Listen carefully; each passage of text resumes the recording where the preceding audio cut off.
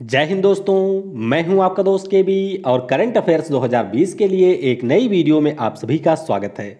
तो आज के इस वीडियो में हम 11 अक्टूबर 2020 से जो भी महत्वपूर्ण प्रश्न आपकी परीक्षाओं में पूछे जा सकते हैं, उन सभी प्रश्नों को डिस्कस करेंगे। तो आइए, कल के प्रश्न जो थे, उनके उत्तर पहले हम लोग जान लेते हैं। तो पहला प्रश्न था कि भारतीय तटरक्षक बल की पहली महिला डीआईजी कौन बनी है? तो नुपुर कुलश्रेष्ठ, ये भारतीय तटरक्षक बल की पहली महिला डीआईजी बन गई हैं। भारत की पहली समुद्री एंबुलेंस किस राज्य में लॉन्च की जाएगी? तो आपको ध्यान रखना है कि ये लॉन्च की गई है केरल राज्य में और इसका नाम रखा गया है प्रतीक्षा। तो नाम और कहाँ पर लॉन्च की गई है दोनों के बारे में आपको याद रखना है। कोपेन हेगन किस देश की राजधानी है? तो कोपेन हेगन ये स्कैंडिनेवियन देश डेनमार्क की राजधानी है। किसकी? डेनमार्क की राजधानी आपको मिलेगी कोपेन हेगन में। गल्ट्रम की बात करते हैं तो ये हमारे पड़ोसी देश भूटान की मुद्रा है, ये आपको ध्यान रखना है। और सौर्य मिसाइल की बात करते हैं तो अभी डीआरडीओ के द्वारा इसका परीक्षण किया गया उड़ीसा राज्य में, और इसकी मारक क्षमता 750 किलोमीटर से अधिक है। तो आपको ये ध्यान रखना है कि इसकी मारक क्षमता 750 किलोमीटर से अधिक है। और आज शाम की जो वीडियो होगी, उसमें हम लोग दो टॉपिक को डिस्कस करेंगे। पहले टॉपिक के अंतर्गत 2020 में जिन भी स्थानों के या जिन भी शहरों के नाम बदले गए हैं, उनके बारे में हम जानेंगे और शाम की जो वीडियो होगी, वह आपके लिए सबसे ज़्यादा महत्वपूर्ण होगी। उसमें हम लोग 2020 में जो भी मिसाइलें आपकी चर्चा में रही हैं, उन सभी मिसाइलों के बारे में डिस्कस करेंगे। लेकिन उससे महत्वपूर्ण चीज़, उस वीडियो में हम लोग जानेंगे कि मिसाइल क्या होती है, मिसाइल की कितनी कैटेगरी होती है सुपरसोनिक सबसोनिक या cruise missile ballistic missile stealth bomber ये सारे क्या होते हैं? इन सभी के बारे में हम लोग जानेंगे। तो शाम वाली वीडियो आप लोग ज़रूर देखिएगा। इस वीडियो की जो पीडीएफ है, वह आपको टेलीग्राम पर मिलेगी। टेलीग्राम पर आपको सर्च करना है के वी गुरु जी और टेलीग्राम चैनल के ऊपर वीडियो के साथ साथ मैं डेली आपसे क्विज भी पूछता हूँ। तो इसीलिए टेलीग्राम चैनल अगर अभी तक आपने नहीं ज्वाइन किया है तो उसको ज्वाइन ज़रूर कर लें। और अगर ये वीडियो आपको पसंद आता है तो इसे लाइक करने के साथ साथ अपने सभी दोस्तों के साथ में शेयर ज़रूर किया करें। तो चलिए, अब हम लोग आज के पहले प्रश्न के साथ में शुरुआत करते हैं। प्रत्येक वर्ष विश्व मानसिक स्वास्थ्य दिवस, यानी कि वर्ल्ड मेंटल हेल्थ डे, कब मनाया जाता है? तो ये दिवस होता है प्रत्येक वर्ष 10 अक्टूबर को, यानी कि इस प्रश्न का ऑप्शन सी करेक्ट होगा। तो मेंटल हेल्थ से संबंधित जो भी आपके मुद्दे हैं उन सभी के प्रति लोगों को जागरूक करने के लिए या फिर आप कह सकते हैं मानसिक स्वास्थ्य के प्रति लोगों को जागरूक करने के लिए यह दिवस प्रत्येक वर्ष 10 अक्टूबर को मनाया जाता है। और इसे घोषणा किसने की थी? तो world federation for mental health के द्वारा इसे मनाए जाने की घोषणा की गई थी। और आपको सिर्फ़ थीम याद रखनी है तो मेंटल हेल्थ फॉर ऑल इस वर्ष के विश्व मानसिक स्वास्थ्य दिवस की थीम है। तो अभी हम लोगों ने कल डिस्कस किया था मानसिक स्वास्थ्य के बारे में कि मानसिक स्वास्थ्य पर एक अंतर्राष्ट्रीय सम्मेलन का आयोजन किया गया, जिसका उद्घाटन किया केंद्रीय मंत्री थावरचंद्र गहलोत ने। मानसिक स्वास्थ्य पुनर्वास केंद्र की स्थापना की गई है मध्य प्रदेश के सीहोर में और एक पोर्टल भी लॉन्च किया गया है मानसिक स्वास्थ्य पुनर्वास के लिए, जिसका नाम है किरण। तो ये सारी चीज़ें आपको ध्यान रखनी है। अगला प्रश्न है, अक्टूबर माह में प्रत्येक वर्ष विश्व प्रवासी पक्षी दिवस कब मनाया जाता है? तो ये दिवस अक्टूबर माह में होता है 10 अक्टूबर को। यानी कि इस प्रश्न का ऑप्शन बी करेक्ट होगा। तो जो हमारे प्रवासी पक्षी हैं और उनके संरक्षण के प्रति जो भी अंतर्राष्ट्रीय स्तर पर सहयोग है, उसके महत्व के बारे में लोगों को जागरूक करने के लिए यह दिवस साल में दो बार मनाया जाता है। तो आपको ध्यान रखना है कि एक बार 9 मई को ये मनाया गया और अब दूसरी बार 10 अक्टूबर को ये मनाया जा रहा है। और इस बार की थीम है बर्ड्स कनेक्ट आवर वर्ल्ड। यानी कि जो हमारी इस प्रकार की प्रवासी पक्षी होते हैं, वे दुनिया को जोड़ने का काम करते हैं। अगला प्रश्न है, किस राज्य की सरकार ने राज्य आपदा प्रतिक्रिया बल की नवीनतम क्विक डिप्लॉयमेंट एंटीना टेक्नोलॉजी का उद्घाटन किया? तो इसका उद्घाटन किया है उत्तराखंड राज्य की सरकार ने, यानी कि इस प्रश्न का ऑप्शन ए करेक्ट होगा। अब ये है क्या? यानी कि क्विक डिप्लॉयमेंट एंटीना टेक्नोलॉजी है क्या? तो देखेंगे अगर आप उत्तराखंड राज्य को तो यह राज्य पर्वतीय शिखरों पर स्थित है। यानी कि जो हमारी पहाड़ियाँ हैं, उनके ऊपर यह राज्य स्थित है। तो कई बार क्या होता है कि जब भी किसी प्रकार के आपातकाल की स्थिति होती है, मान लीजिए कहीं पर आग लग गई या कहीं पर बाढ़ की स्थिति आ गई तो उस स्थिति में जब हमारी राज्य आपदा प्रतिक्रिया बल की इकाई जाती है तो उससे कम्युनिकेट करना थोड़ा सा मुश्किल हो जाता है। तो इसीलिए ये जो क्विक डिप्लॉयमेंट एंटीना टेक्नोलॉजी है तो यहाँ पर सेटेलाइट का यूज़ किया जाएगा और ऐसे जो भी हमारे नो सिग्नल एरिया होंगे, वहाँ पर सैटेलाइट के माध्यम से संचार को स्थापित किया जाएगा। जैसे आपने सैटेलाइट फ़ोन के बारे में सुना होगा तो यहाँ पर सैटेलाइट का यूज़ कम्युनिकेशन के लिए किया जाएगा, अगर कोई आपात की स्थिति उत्पन्न होती है। उत्तराखंड की बात करते हैं तो राजधानी देहरादून में है, विंटर में। गैरसेन समर की राजधानी है, राज्यपाल है बेबी रानी मौर्य और मुख्यमंत्री हैं त्रिवेंद्र सिंह रावत। उच्च न्यायालय आपको मिलेगा नैनीताल में और रवि मालिमत यहाँ के मुख्य न्यायाधीश हैं। स्थापना इसकी हुई थी 9 नवंबर वर्ष 2000 में। राष्ट्रीय पार्क गोविंद पशु विहार है, फूलों की घाटी राष्ट्रीय पार्क है नंदा देवी राष्ट्रीय पार्क है, जिम कार्बेट है, गंगोत्री है और आपका है राजा जी। टाइगर रिज़र्व आपको दो मिलेंगे, जिम कार्बेट और राजा जी। बायोस्फीयर रिज़र्व यहाँ पर एक है, नंदा देवी। मंदिर कई सारे हैं, दो आपको याद रखने हैं, केदारनाथ और बद्रीनाथ का। एलिफेंट रिज़र्व एक है, जिसका नाम है शिवालिक। और यहाँ पर हम लोग उत्तराखंड से जुड़े हुए आइए, दस पॉइंट भी जान लेते हैं। अभी कल मैंने आपको बताया था कि उत्तराखंड राज्य की सरकार के द्वारा मुख्यमंत्री सौर स्वरोजगार योजना की शुरुआत की गई। भारत का जो पहला ग्लास फ्लोर ब्रिज है, उसका भी निर्माण किया जा रहा है उत्तराखंड में। इसके अलावा चंबा सुरंग का भी यहाँ पर उद्घाटन किया गया है। एक भारत श्रेष्ठ भारत के अंतर्गत कर्नाटक के साथ जोड़ा गया। साक्षरता रिपोर्ट में ये रहा तीसरे स्थान पे। संस्कृत पांडुलिपियों के लिए डिजिटल पुस्तकालय के निर्माण की घोषणा की गई है। एग्रीकल्चरल लैंड लीजिंग पॉलिसी को लागू करने वाला यह पहला राज्य बना है। एडवेंचर पर्यटन को बढ़ावा देने के लिए उत्तराखंड सरकार के साथ में इसने समझौता किया है। प्रवासियों के लिए मुख्यमंत्री स्वरोजगार योजना की शुरुआत की गई। हिम तेंदुओं के लिए संरक्षण केंद्र बनाने वाला देश का पहला राज्य बना है। भारत का पहला कवक पार्क जो है, उसका भी विकास उत्तराखंड में किया गया।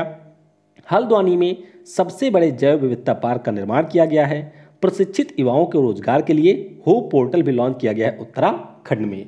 और जो हमारे राज्यों की सीरीज़ होगी, उसमें हम इसी प्रकार से जो भी हमारे राज्य हैं, उनसे संबंधित करंट अफेयर्स को डिस्कस करेंगे। यानी कि वन लाइनर के फॉर्म में होगा। पहले हम लोग उस राज्य के बारे में बेसिक जानेंगे और उसके बाद में उस राज्य से संबंधित करंट अफेयर्स को डिस्कस करेंगे। तो मेरी कोशिश रहेगी कि दो दो महीने के जो आपके करंट अफेयर्स हैं, उनको हम लोग डिस्कस करें।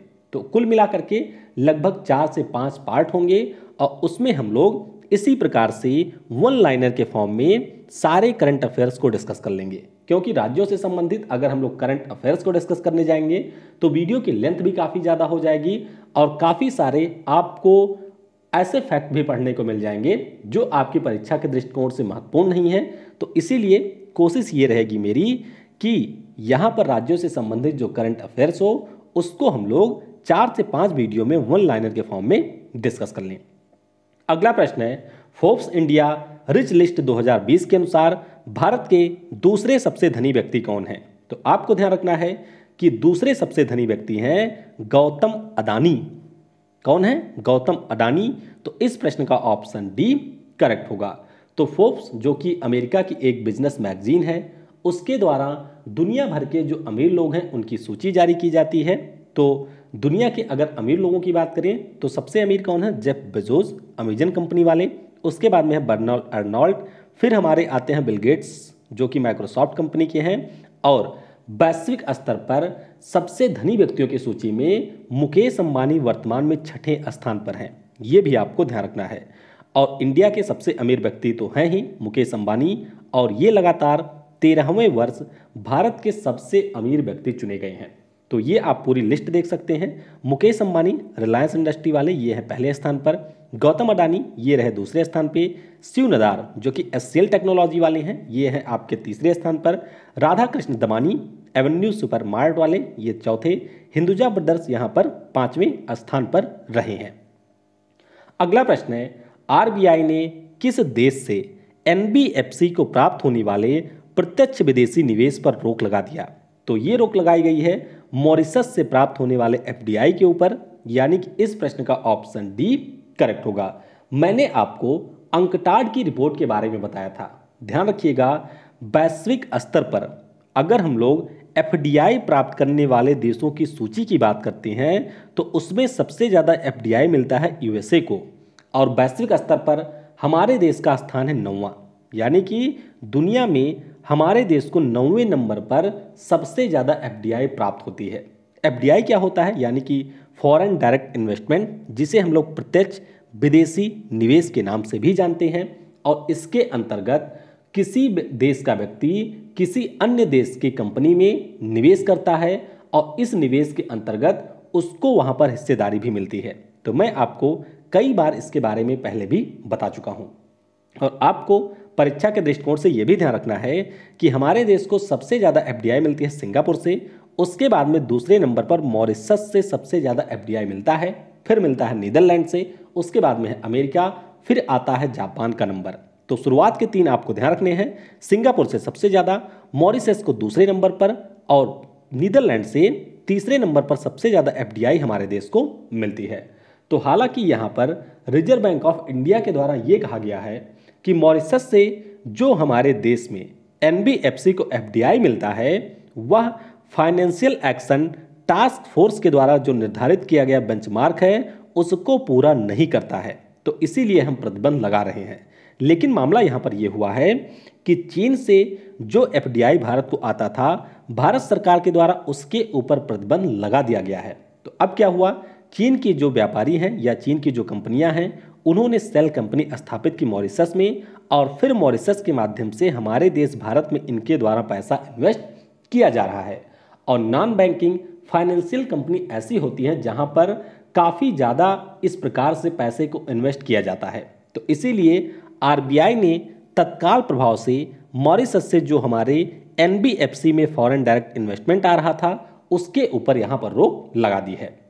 तो शॉर्ट में मैंने आपको समझा दिया। फिर भी अगर आपको कहीं पर इसमें डाउट होता है तो वह आप नीचे कमेंट में पूछ सकते हैं। मॉरिसस की बात करते हैं तो पोर्ट लुइस यहाँ की राजधानी है, प्रवीण जुगन्नाथ यहाँ के पीएम हैं और यहाँ की मुद्रा आपको मिलेगी रुपया। तो जो आठ देश मैंने बताए थे, उनमें मॉरिसस भी एक देश है, जहाँ की मुद्रा है रुपया। अगला प्रश्न है, अक्टूबर 2020 में प्रत्येक ग्रामीण घर में पेयजल कनेक्शन देने वाला देश का पहला हर घर जल राज्य कौन बना? तो ये राज्य बन गया है गोवा, यानी कि इस प्रश्न का ऑप्शन ए करेक्ट होगा। तो हम लोगों ने कई बार डिस्कस किया है कि पिछले वर्ष जब जल शक्ति मंत्रालय का गठन किया गया था, उसी के बाद में भारत सरकार के द्वारा जल जीवन मिशन की घोषणा की गई थी। और इस मिशन का लक्ष्य है कि 2024 तक हमारे देश में जो भी ग्रामीण इलाके हैं, वहाँ पर हम लोग पाइप कनेक्शन के माध्यम से स्वच्छ जल मुहैया करवा सकें। तो इसी क्रम में गोवा हमारे देश का पहला राज्य बन गया है, जिसने अपने यहाँ के दो लाख तीस हज़ार ग्रामीण परिवारों को पेयजल कनेक्शन की सुविधा की शुरुआत कर दी है। तो ये आपको यहाँ पर ध्यान रखना है। गोवा की बात करते हैं तो राजधानी यहाँ की पणजी है। राज्यपाल है भगत सिंह कोश्यारी, मुख्यमंत्री हैं प्रमोद सावंत। लोकसभा में एक सीट है, राज्यसभा में भी यहाँ की एक सीट है और विधानसभा में यहाँ की चालीस सीटें हैं। गोवा का जो उच्च न्यायालय है, आपको ध्यान रखना है, वह मुंबई में मिलेगा। हालाँकि इसकी एक खंडपीठ आपको गोवा की राजधानी पणजी में मिल जाएगी। और इसके मुख्य न्यायाधीश कौन है? दीपांकर दत्ता। गोवा के बारे में ये दो इंपॉर्टेंट चीज़ें आपको ध्यान रखनी है। गोवा, जो कि पुर्तगाल देश का एक कॉलोनी था तो ऑपरेशन विजय के अंतर्गत 19 दिसंबर 1961 को पुर्तगाल से गोवा को आज़ाद कराया गया था। और उसके बाद में 30 मई 1987 को हमारे भारतीय संघ में पच्चीसवें राज्य के रूप में गोवा को शामिल किया गया था। राष्ट्रीय पार्क आपको मिल जाएगा एक, जिसका नाम है भगवान महावीर अभ्यारण्य व मोलम राष्ट्रीय पार्क। वन्यजीव अभ्यारण्य की बात करते हैं तो बोंदला, नेत्रावली, कौतियागो, मयादेई और सलीम अली पक्षी बिहार, यहाँ के कुछ प्रमुख वन्यजीव अभ्यारण्य हैं। अगला प्रश्न है, किस राज्य की सरकार ने पीएम किसान योजना के लिए इंडिया पोस्ट के साथ में एक समझौता किया। तो ये समझौता किया है गोवा राज्य की सरकार ने। तो इस प्रश्न का ऑप्शन बी करेक्ट होगा। अब इस समझौते के अंतर्गत होगा क्या? तो पहले आप जानिए पीएम किसान योजना के बारे में, जिसकी शुरुआत पिछले वर्ष की थी। पीएम ने कहाँ पर? उत्तर प्रदेश के गोरखपुर ज़िले से।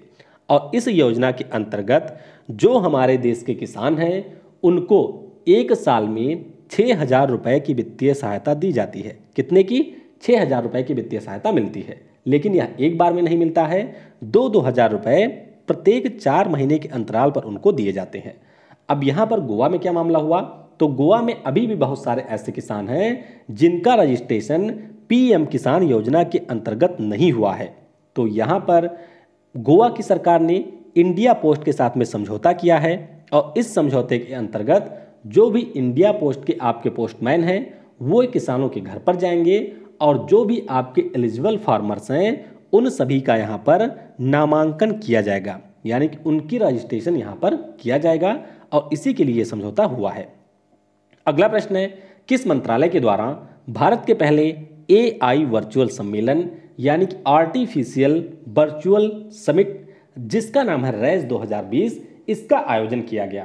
तो आपको ध्यान रखना है कि इलेक्ट्रॉनिक्स और आईटी मंत्रालय के द्वारा नीति आयोग के साथ में मिलकर के भारत के पहले ए आई वर्चुअल सम्मेलन, जिसका नाम है रेज 2020 इसका आयोजन किया गया है। तो इस प्रश्न का ऑप्शन सी करेक्ट होगा। अब इस सम्मेलन के बारे में आपको ये ध्यान रखना है कि एक तो हमारे भारत का यह पहला आर्टिफिशियल इंटेलिजेंस पर आधारित सम्मेलन था और पाँच दिवसीय इसका आयोजन किया गया, यानी कि पाँच दिनों तक इसका आयोजन हुआ। और रैज का पूरा नाम है responsible artificial intelligence for social empowerment 2020 तो इसमें बहुत सारे देशों के जो प्रतिनिधि हैं, उन्होंने भाग लिया और इसमें इस बात की चर्चा की गई कि किस प्रकार से कृत्रिम बुद्धिमत्ता का जो यूज़ है, वह अलग अलग फ़ील्ड, जैसे कि हमारा मेडिकल हो गया, स्वास्थ्य सेवा हो गया, या जो भी हमारे अन्य फ़ील्ड हैं, वहाँ पर कैसे की जा सकती है। तो ये आपको ध्यान रखना है। इसी दौरान इंटरनेशनल बिज़नेस मशीन, जो कि अमेरिका की एक कंपनी है इसने गवर्नमेंट ई मार्केट प्लेस के साथ में समझौता किया और इस समझौते के अंतर्गत आर्टिफिशियल सेंटर ऑफ़ एक्सीलेंस, यानी कि कृत्रिम बुद्धिमत्ता, उत्कृष्टता केंद्र की स्थापना हमारे देश भारत में की जाएगी आईबीएम कंपनी के द्वारा। और इलेक्ट्रॉनिक्स और आईटी मंत्रालय की बात करते हैं तो रविशंकर प्रसाद जी इसके मंत्री हैं। और एक हमारा होता है सूचना और प्रसारण मंत्रालय। इसके मंत्री कौन है? तो प्रकाश जावड़ेकर जी, जो कि हमारे पर्यावरण मंत्री भी हैं। वे आपके सूचना और प्रसारण मंत्रालय के मंत्री हैं। और आपको बताना है कि पृथ्वी विज्ञान मंत्रालय के मंत्री कौन है? किस राज्य की सरकार ने अपनी तरह के पहले पौधारोपण नीति 2020 को मंजूरी दी है? तो यहाँ पर मंजूरी दी गई है दिल्ली राज्य की सरकार के द्वारा। यानी कि इस प्रश्न का ऑप्शन डी करेक्ट होगा। तो दिल्ली के सीएम कौन है? अरविंद केजरीवाल जी यहाँ के सीएम हैं तो इन्हीं की अध्यक्षता में दिल्ली कैबिनेट की बैठक हुई। जब हम लोग कैबिनेट की बात करते हैं तो जो हमारे कैबिनेट मंत्री होते हैं, इसके अलावा सीएम होते हैं, उनके बीच में एक बैठक का आयोजन किया जाता है और उसी दौरान यहाँ पर टी प्लांटेशन पॉलिसी को मंजूरी दी गई है। अब ये पॉलिसी है क्या? तो इस पॉलिसी में कहा गया है कि अगर आप किसी भी प्रकार के निर्माण कार्य के लिए या किसी भी प्रकार के डेवलपमेंट प्रोजेक्ट के लिए अगर आप वहाँ पे लगाए गए पेड़ों की कटाई करते हैं तो उसके एवज में आपको 80 परसेंट पौधे लगाने होंगे। यानी कि अगर आपने यहाँ पर 100 पेड़ों की कटाई की है तो आपको 80 पौधे यहाँ पर लगाने पड़ेंगे। और जब आप 80 पौधों को यहाँ पर लगाएँगे 80 परसेंट पौधों को लगाएँगे तो उन 80 परसेंट पौधों में से आपको 80 परसेंट पौधों की निगरानी भी करनी है। यानी कि वह सूखने ना पाए, आपको इस प्रकार से प्रबंध करना है कि वह पौधे ग्रो होकर के एक ब्रिज का रूप ले सकें। तो कुछ समय पहले युद्ध प्रदूषण के विरुद्ध अभियान के मंजूरी दी थी दिल्ली की सरकार ने, और उसी के अंतर्गत यहाँ पर पौधारोपण नीति को भी मंजूरी दी गई है। इसके अलावा आपको यह ध्यान रखना है कि दिल्ली की सरकार ने ये कहा है कि जो हमारे यहाँ पर कनाट प्लेस है, वहाँ पर हम लोग 20 करोड़ की लागत से दुनिया के दूसरे स्मोक टावर की स्थापना करेंगे। पहला स्मोक टावर कहाँ पर है? तो ये आपका है चीन में, और दूसरे स्मोक टावर की स्थापना की जाएगी दिल्ली में। तो ये भी आपको ध्यान रखना है। अगला प्रश्न है, अक्टूबर 2020 में किस कवि को सरला पुरस्कार से सम्मानित किया गया? तो ये पुरस्कार मिल गया है नित्यानंद नायक जी को। तो इस प्रश्न का ऑप्शन सी करेक्ट होगा, और आपको ये ध्यान रखना है कि उड़ीसा राज्य की सरकार के द्वारा ये पुरस्कार दिया जाता है। तो नित्यानंद नायक जी, जो कि उड़ीसा राज्य के कवि हैं, इनके द्वारा एक कृति लिखी गई थी, जिसका नाम था सेत बेलकू नथिबा। तो इसी के लिए इन्हें यह पुरस्कार मिला है। तो पुरस्कार के स्वरूप इनको पाँच लाख रुपए दिए गए और एक प्रशस्ति पत्र भी दिया गया है। इसके अलावा ये भी आप देख सकते हैं कि रणजीत कुमार नाग को संगीत में योगदान के लिए इला पंडा संगीत सम्मान दिया गया और श्याम सुंदर पटनायक को कला के क्षेत्र में उनके योगदान के लिए इला पंडा चित्रकला सम्मान से सम्मानित किया गया है। तो नित्यानंद नायक जी को सरला पुरस्कार से सम्मानित किया गया है। अगला प्रश्न है, अक्टूबर 2020 में किस राज्य की सरकार ने सबसे बड़े ऑक्सीजन उत्पादन संयंत्र को स्थापित किया? तो यह स्थापित किया है, उत्तर प्रदेश की सरकार ने, यानी कि इस प्रश्न का ऑप्शन बी करेक्ट होगा। तो उत्तर प्रदेश में आपको एक जिला मिलेगा, जिसका नाम है जिला गाजियाबाद। तो मूवी आपने देखी होगी जिला गाजियाबाद। तो उसी ज़िले में मोदी नगर के अंदर योगी आदित्यनाथ के द्वारा यहाँ पर ऑक्सीजन उत्पादन प्लांट की स्थापना की गई है। अब ये प्लांट करेगा क्या? तो इस प्लांट में प्रतिदिन 150 टन लिक्विड ऑक्सीजन का उत्पादन किया जाएगा। और उसके बाद में इस प्लांट के अंदर यह भी खास बात होगी कि यह 1000 मीट्रिक टन ऑक्सीजन को स्टोर भी कर सकता है। तो उसके बाद में राज्य के जो भी प्राइवेट या सरकारी हॉस्पिटल हैं, वहाँ पर इन ऑक्सीजन की सप्लाई की जाएगी। तो ये आपको ध्यान रखना है। उत्तर प्रदेश की बात करते हैं तो राजधानी लखनऊ में है। आनंदीबेन पटेल राज्यपाल हैं। मुख्यमंत्री यहाँ के हैं योगी आदित्यनाथ। और मुख्य न्यायाधीश कौन है? गोविंद माथुर हैं। उच्च न्यायालय आपको मिल जाएगा प्रयागराज में। राष्ट्रीय पार्क एक ही है जो इसका नाम दुधवा। टाइगर रिज़र्व, अमानगढ़, पीलीभीत और दुधवा में है। रामसर स्थल आपको ध्यान रखने हैं, क्योंकि सबसे ज़्यादा है उत्तर प्रदेश में। तो समसपुर नवाबगंज, पार्वती अर्गा सरसई, नवार, सैंडी, ये सारे रामसर स्थल हैं उत्तर प्रदेश के। मंदिर, काशी विश्वनाथ और बाके बिहारी, एलिफेंट रिज़र्व आपको मिलेगा उत्तर प्रदेश के नाम से। और ये सारी चीज़ें उत्तर प्रदेश की जो अभी न्यूज़ में रही थी, उनके बारे में आप यहाँ पर वीडियो को पॉज करके अगर चाहें तो पढ़ सकते हैं। के के उषा, जिनका हाल ही में निधन हुआ, किस राज्य की प्रथम महिला मुख्य न्यायाधीश थी? तो आपको ध्यान रखना है कि ये प्रथम महिला मुख्य न्यायाधीश थी, केरल राज्य की और अभी हाल ही में इनका निधन हुआ है। तो इस प्रश्न का ऑप्शन ए करेक्ट होगा। तो 1991 से 2000 तक ये केरल उच्च न्यायालय की न्यायाधीश रही थी और उसके बाद में 2000 से 2001 तक केरल उच्च न्यायालय के पहली महिला मुख्य न्यायाधीश के रूप में इन्होंने कार्य किया था। तो अब इनका निधन हो गया है। तो ये रहा आज का करंट अफेयर। चलते चलते कुछ अन्य चीज़ें भी जान लेते हैं। लिंग भेद मिटाने के लिए एक अभियान चलाया था फिनलैंड के एवा मोर्तो ने। किसने? एवा मोर्तो ने, जो कि 16 वर्ष के थे और इसी अभियान के लिए, इनको सम्मानित करने के लिए फिनलैंड ने एक दिन के लिए इनको प्रधानमंत्री बनाया था। तो इंपॉर्टेंट प्रश्न है, आपको ध्यान रखना है। वैसे अगर हम लोग फिनलैंड देश की बात करते हैं तो ये भी हमारा एक स्कैंडिनेवियन कंट्री है, जिसकी राजधानी आपको मिलेगी हेलस्की में, और यहाँ के पीएम वैसे हैं कौन? तो सना मारिन, जो कि दुनिया की सबसे कम उम्र की पीएम है। ये वर्तमान में यहाँ की पीएम है। तो ध्यान रखिएगा नाम, एवा मोर्तो इनका नाम है और लिंग भेद को मिटाने के लिए, यानी कि जेंडर बैलेंस को स्थापित करने के लिए इनके द्वारा ये अभियान चलाया गया था। डीआरडीओ के द्वारा Rustom two unmanned vehicle का अभी कर्नाटक के चित्रकूट, चित्रदुर्ग में परीक्षण किया गया। तो इस प्रश्न को कल हम लोग थोड़ा सा डिटेल में देखेंगे। आर्टिफिशियल इंटेलिजेंस और 5G तकनीक में सहयोग के लिए भारत और जापान ने समझौता किया है। चुनाव आयोग ने अब ये कहा है कि अगर कोई भी राजनीतिक दल के लिए पंजीकरण करवाना चाहता है तो उसको अभी तक जो नोटिस की अवधि थी, वह तीस दिन से घटा करके सात दिन किया गया है। यानी कि पंजीकरण के लिए नोटिस देने की जो अवधि पहले तीस दिन थी, अब उसको घटा करके सात दिन कर दिया गया है। और केंद्रीय स्वास्थ्य मंत्री डॉक्टर हर्षवर्धन के द्वारा नई दिल्ली में DBT BIRAC clean tech demo park का उद्घाटन किया गया। तो इस प्रश्न को भी हम लोग कल डिटेल में देखेंगे। आज के वीडियो से आपके लिए प्रश्न है, किस प्रकार के मिसाइल का जो पथ है, वह आपका नियत रहता है? यानी कि वह जो मिसाइल होती है, वह एक नियत पथ पर चलती है। नोबल पुरस्कारों का जो वितरण है, वह किस दिन किया जाता है? गणित के क्षेत्र का नोबल पुरस्कार किस पुरस्कार को हम लोग कहते हैं? बाला देवी किस खेल से संबंधित खिलाड़ी हैं? ऑस्ट्रेलियन ओपन 2020 के विजेता कौन रहे थे? महिला और पुरुष कैटेगरी, दोनों के बारे में आपको बताना है। तो इस वीडियो को आपने समय दिया, उसके लिए आप सभी को बहुत बहुत धन्यवाद। वीडियो आपको कैसा लगता है, इसके बारे में अपना फीडबैक ज़रूर दिया करें। और अगर आपको लगता है कि यह वीडियो हेल्पफुल है तो फिर आप इसको अपने दोस्तों के साथ में शेयर ज़रूर किया करें। क्योंकि अगर आप लोग चाहते हैं कि मैं वीडियो को कंटिन्यू रख सकूँ तो वीडियो को आपको ज़्यादा से ज़्यादा लोगों के पास में शेयर ज़रूर करना है। थैंक्स फॉर वॉचिंग जय हिंद जय भारत और सबसे ज़रूरी, पढ़ेगा भारत तो बढ़ेगा भारत।